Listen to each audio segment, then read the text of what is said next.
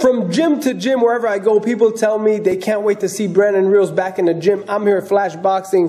Boxing trainer Jorge Diaz. Who do you want to see Brandon Rios fight next? I would like to see him with Provodnikov. I think that's a that's No need for refs. No oh, need. Oh, for, that, that's that's a fight. no needs for judges. I That's- mean, that's the- it will end in a knockout. You know, excuse my friend. That's a don't give a fuck fight. Everybody go. These guys just go at it, and That's a fan-friendly fight right there. That's gonna be a a- barn burner. that's gonna be like a that's a that could be the like another Gatti Ward fight. Maybe even even I I may even think it might even be more brutal more brutal than those fights. That could be a a fight, and I've heard being talked about it. That could be fights. That could be a good fight. That could be a great fight. I don't know. Ah.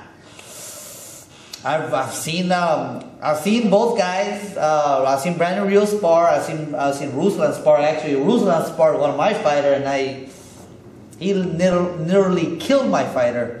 And, and not Does he have technique, or does he just put his head down and swings and swings and swings? Ruslan, for me, he's technically he has technique. You can't say he's, but one thing that in the twenty four seven, he says some things that you gotta admire the guy. He says some things that that he does it for pride. He looks himself like a dying race. I think he looks at himself like there's there's not his people are basically disappearing on on his on these on this earth. I don't know. That's how I see him.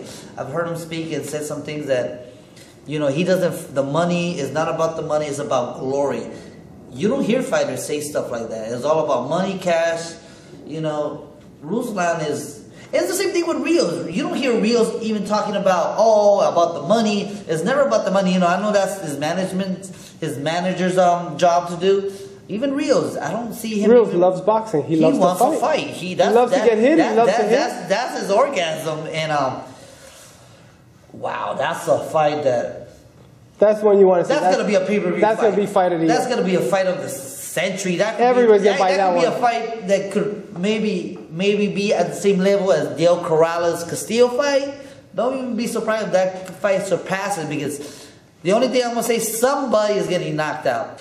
But, uh, But that's, a, that's, a, that's fight, a fight you wanna That's see. a fight I would love to see. I will pay to see that fight. Of course you would pay. Everybody would pay to see that fight. Ruslan against Brandon Real. Stay tuned. Might happen next year. For ESNewsReport.com, I'm Elie Seckbach reporting.